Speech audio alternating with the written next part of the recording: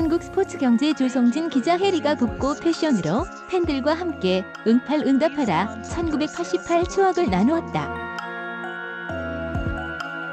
지난 20일 그룹 걸스데이 출신 해리는 인스타그램에 덕선아 안녕 오랜만이야 라는 글과 함께 근황 사진을 게재했다.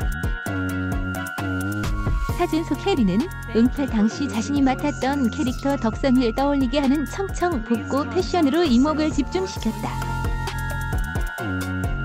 해리와 소통 중인 팬들은 덕선아 류 우리 어디 안 갔어? 성덕선 아리는 지금도 진행 중 덕선아 반갑구만 반가워요 라고 말하는 등 응팔 추억을 함께 나누었다. 한편 해리는 지난 2015년 11월에서 2016년 1월까지 방영된 TVN 응답하라 1988의 덕선이로 출연해 인기 몰이를 했다.